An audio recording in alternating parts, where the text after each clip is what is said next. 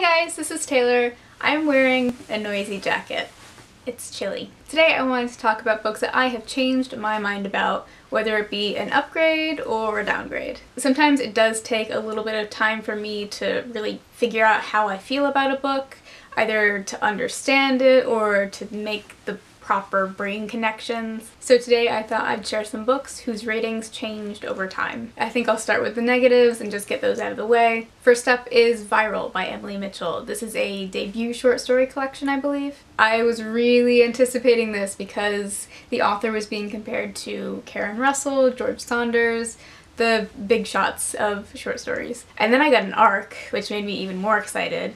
I read it and my prevailing feeling was, yeah, that was pretty good. And then some time passed, and the more time that went by, the less fond my memories grew. My main problem with this collection now is that the stories are just all over the place to the point where it seems like they could have been written by different authors. There are maybe two that have a really strong authorial voice, and it goes from those strong, vaguely weird sci-fi stories to just realistic contemporary blahness. I also feel like the vast majority of her reveals or twists were just not interesting in the slightest. So this went from a three star to a two star.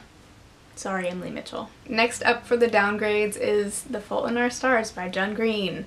Oh boy. I've mentioned on this channel that I was a big fan of John Green growing up, have since moved away from it, partially just because I grew up and that's okay, but partially because I did come to realize the things that are wrong or icky about The Fault in Our Stars in particular. So I read this the day it came out in one sitting, gave it five stars, yahoo. And then when it really started to blow up and there started to be some dissenting opinion, I became really interested in what the other half had to say about it. I did watch a couple videos pointing out how it does romanticize cancer and that it is very much a condition story and if you remove the cancer from the characters they become pretty flat. So yeah, I downgraded this. I haven't properly re-rated it and uh, those are my feelings. So now let's talk about some books that, given some time, I came to really like. The first is going to be Giovanni's Room by James Baldwin, which, as you may recall, was one of my top five reads of last year. So basically what happened with Giovanni's Room was,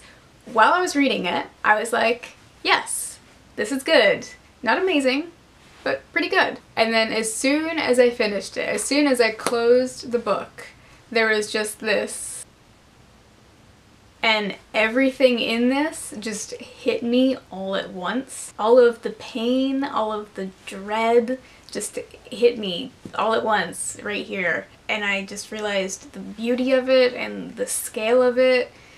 Yeah, this went from a wishy-washy 4 to a 5. Next I want to talk again about Thirsty by M.T. Anderson. I want to start off saying that this book gives off the wrong first impression. This is YA about vampires but it is not angsty, spooky, sexy, no, no, no, no, no. It's hilarious and strange and sinister all at the same time. I love this book now, but Initially I gave it a three star because of the ending. How, how do I say this?